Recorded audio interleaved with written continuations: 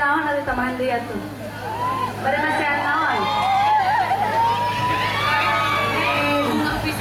Di dia atau suami? Itu dia nggak ngerti.